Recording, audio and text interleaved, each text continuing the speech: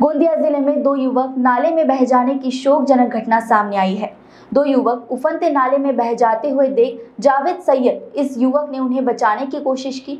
जावेद एक युवक को बचाने में सफल रहा, लेकिन दूसरे को बचाते हुए नाले के बहाव में वो भी बह गया।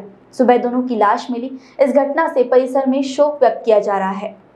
कल शाम को तीन बजे के करीब गोंदिया के गौतम नगर नाले पर करीब छह युवक नहाने गए थे। उफनते नाले के पानी में बहाव से दो बच्चों का पैर फिसलने से वो पानी में बह गए। मौजूद जावेद नामक युवक ने उन्हें बचाने की कोशिश की, जिसमें एक बच्चे को तो उसने बचा लिया, लेकिन दूसरे को निकालते वक्त वो भी बह गया। अपनी जान देने वाले कुम्भारी नगर निवासी युवक की लाश सुबह छह बजे पिंड के पास समीप नाले के बाजू में लटकी मिली। और दूसरा बच्चा तथा रेहान करीम शेख की भी लाश मिल गई है। जान बचाने वाले के परिवार के प्रति गौतम नगर में भारी शोक दिखाई दे रहा है। एसडीपीओ ताजने के मार्गदर्शन में थानेदार चंद्रकांत सूर्यवंशी आगे की जाँच कर रहे हैं।